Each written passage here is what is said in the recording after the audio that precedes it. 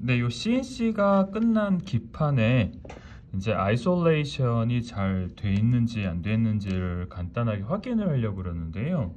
지금 이제 저항 테스트를 하고 있는데 저항이 연결되지 않았으니까 이제 1이라는 숫자가 나왔는데 이거는 이제 연결이 안 돼 있다라는 뜻이고 만약에 전기적으로 연결이 되면 이렇게 contact을 하게 되면 이제 저항이 굉장히 줄어들죠. 거의 0 이제 거의 0.0 얼마로 나오잖아요.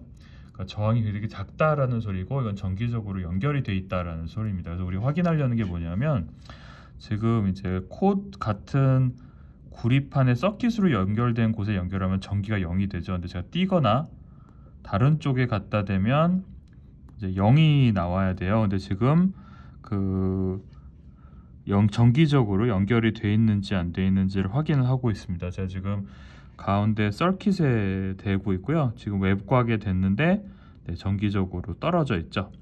그래서 우리가 다 할 필요는 없고요. 중요한 중요 서킷에 있어서 전기적으로 저항이 잘 돼, 어, isolation이 돼 있는지를 확인을 할 건데요.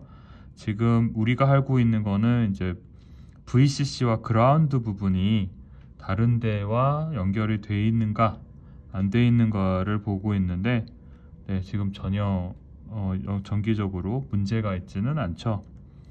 그래서 지금 그 연결 단자에 대해서 확인을 한 번씩 해보고 있습니다. 이거는 이제 같이 연결된 곳이에요. 그러니까 0이 됐죠? 이거 맞는 거고요. 떨어진 곳은 다 0이 돼야 맞습니다. 그리고 그 옆에 이제 그 어, 외곽선에 쭉 돌아가는 이 부분에 대해서도 한번 확인을 해 보려고 하는데 네, 다 0으로 1로 돼 있어서 어, 정기적으로 합선이 된 곳이 없다라는 것을 확인을 할 수가 있습니다. 여기는 이제 연결이 돼야 되겠죠? 그리고 이런 데는 나머지는 다 연결이 되면 안 되겠죠. 네, 그래서 정기적으로 다 분리되어 있다는 거, 기판은 분리가 되어 있다는 것을 이제 확인을 다 했고요.